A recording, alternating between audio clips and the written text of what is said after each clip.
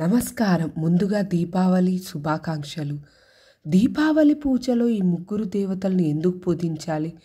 ముఖ్యంగా మనం ఒక్కొక్కసారి ఒక దేవుణ్ణి మర్చిపోతూ ఉంటాం. అది ఎవరు?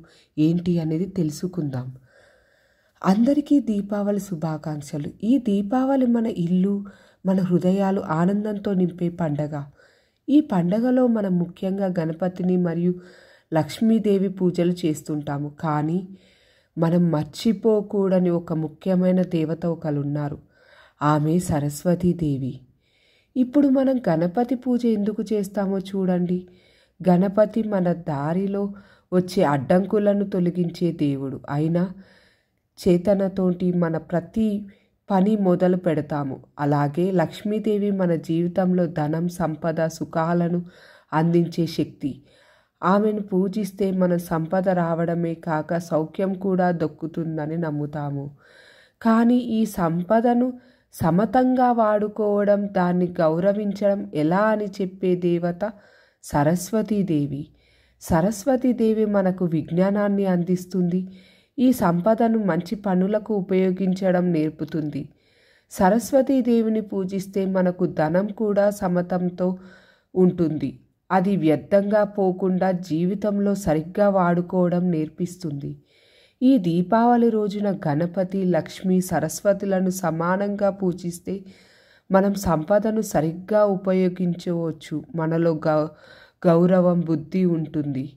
ఈ ముగ్గురు దేవతలు మన జీవితంలో కీలక పాత్ర పోషిస్తారు.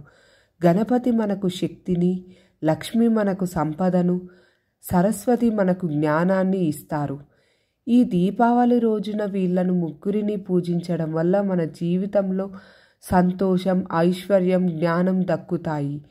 ఈ దీపావళి మన గణపతి లక్ష్మి సరస్వతి దేవతలను పూజించి శాంతి ఆనందం ఐశ్వర్యం పొందుదాము అందరూ తప్పనిసరిగా సరస్వతి దేవిని కూడా పూజించడం మంచిది.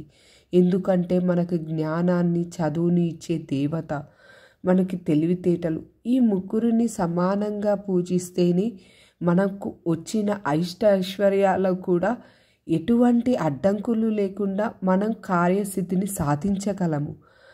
ఎలా అయితే మనకు దీపావళి పండగ అనేది ఐదు రోజులు జరుపుకుంటామో మొదటి రోజున ధనత్రయోదశి నాడు యమదీపం అనేది తప్పనిసరిగా గడప ముందు పెట్టాల్సి ఉంటుంది.